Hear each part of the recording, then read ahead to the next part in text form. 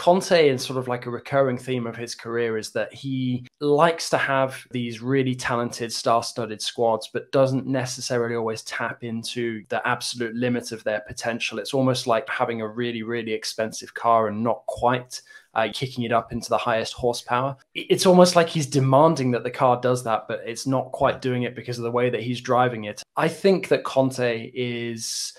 somebody who has a limited period of time with each of his clubs where the players will be really receptive to his methods uh, and then i think they will get fed up with him. And if he can't get spurs to be successful in sort of you know a short period of time then some of the players will start turning uh, against him